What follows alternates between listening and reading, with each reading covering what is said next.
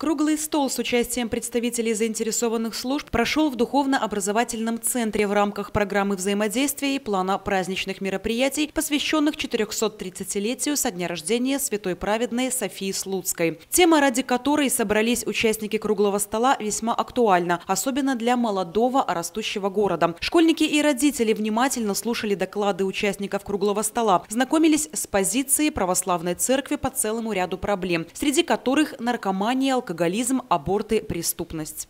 Дело в том, что в этом году подписано, подписан план взаимодействия между отделом образования и Солигорским благочинием по взаимодействию между Белорусской православной церковью и учреждениями светскими образования.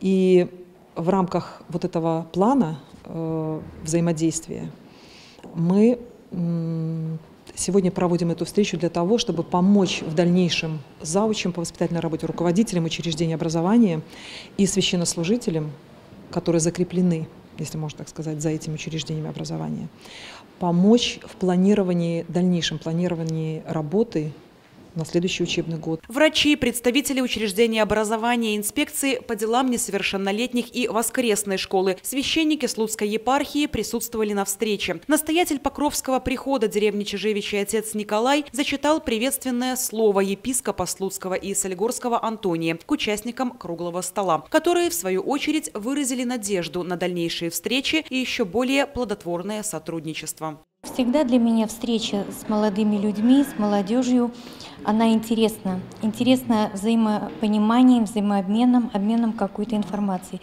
Сегодня мы все прекрасно знаем, что государство и церковь идут плечо к плечу рядом. И цели и задачи у государства и у церкви одни. У нас должно быть здоровое общество, здоровая молодежь, здоровая нация физическое, духовное и этическое здоровье – это все единое целое. Тем более, что здесь будут присутствовать старшеклассники, которые, я просто знаю программу этого, э, этой встречи, это будет очень интересно.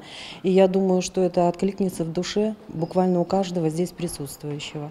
Я надеюсь, что молодые люди, которые сегодня здесь будут э, участвовать в этой встрече, они не останутся равнодушными. Если раньше не все школы занимались духовно-нравственным развитием ребенка, то сейчас, уверяют организаторы встречи, каждое учреждение образования будет вести работу в данном направлении. Для этого за каждым священником Солигорского благочиния закреплена школа. Такое тесное взаимодействие принесет положительный результат и поможет решить проблемы молодежи, их воспитания, а также семей, находящихся в социально опасном положении.